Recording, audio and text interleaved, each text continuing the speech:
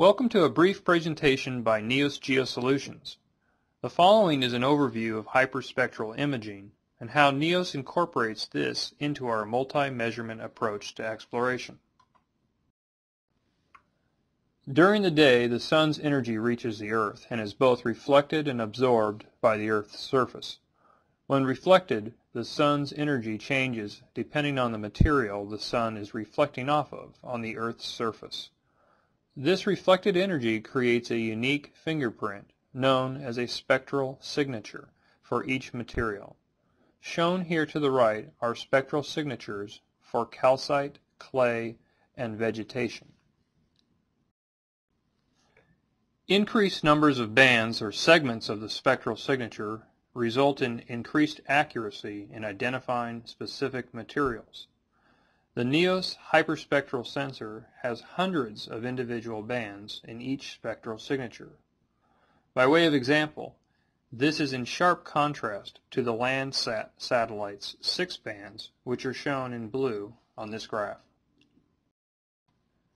Using these spectral signatures is an important component of the NEOS multi-measurement technique.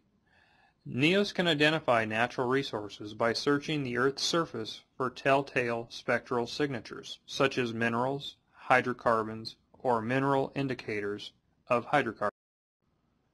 There are countless uses for hyperspectral imaging. Some of these include hydrocarbon and mining exploration, environmental baselines, geothermal exploration, agriculture, forestry, and land use classification. Shown here is an example of hyperspectral imaging in action. Flying over an area with our hyperspectral sensors, NEOS can detect oil seeps on the Earth's surface. These seeps are shown as yellow on the image to the right. Here are two images of the same area but in different portions of the spectrum, visible and near infrared on the left, thermal infrared on the right. Oil wells are easily identified on the left, while some of the surface features become more prominent in the thermal infrared, shown on the right. Mineral exploration is another important use of hyperspectral imagery. Rather than looking for something such as gold on the Earth's surface, NEOS can detect the mineral indicators that are commonly associated with gold. Shown here is the clay kaolinite. Searching for natural gas can also be greatly improved by using hyperspectral imagery. Using thermal spectral data, fractures can be identified. These fractures can help to identify the presence of natural gas. Environmental baselines can also be developed using hyperspectral data. One example is creating detailed maps of vegetation and waterway sediment loads.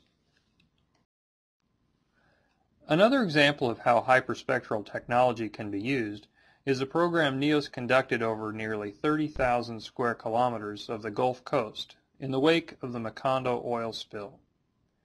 We took a series of time-lapse measurements both before oil had affected the coastline and then again 60 to 90 days afterwards. Our scientists, supported by a team from Louisiana State University that was deployed on the ground, compared the hyperspectral signatures of vegetation to detect plants that were unaffected, shown in green, and vegetation that was under stress, shown in red. We have shared our results with the parties affected by the spill, along with government and regulatory agencies and universities. Our intent is for all to benefit from our time-lapse program, which we call Operation Gulf Scan. To summarize, hyperspectral imaging goes above and beyond what we can see with the naked eye. NEOS hyperspectral systems were designed with high levels of detection power for hydrocarbon and minerals exploration. Hyperspectral detection has several standalone applications, which include environmental baselining, topographic mapping, and others.